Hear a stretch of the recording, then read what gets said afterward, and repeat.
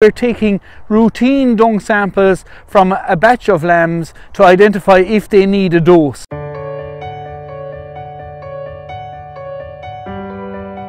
Taking a dung sample, fecal egg sampling of, of lambs.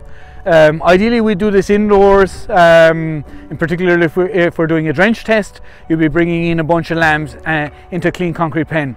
But it's also possible, or it's also um, feasible to take dung samples out in the field, particularly if we're taking routine dung samples from a batch of lambs to identify if they need a dose. So ideally what we should be doing is coming into a field of lambs where the lambs are settled and lying down, as you can see some of the lambs here in the background.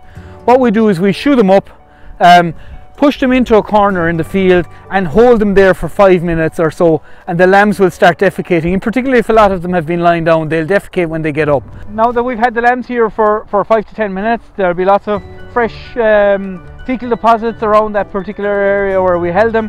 And then you come along just basically touch the fecal deposit to make sure it's warm. It's a fresh deposit then we get our pot. We want about 10 samples, 10 fresh samples, roughly around the same amount from each sample. So we use the little spoon that's provided on the pot to take roughly around the same amount of feces from each deposit into, into the pot, okay?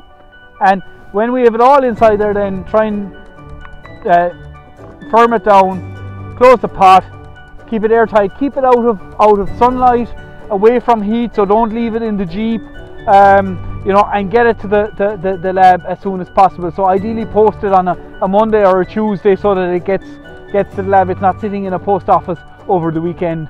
And they basically will have a look at the sample and, and give us a result in terms of an egg count, which will inform our decision as to whether the lambs need a dose for worms or not.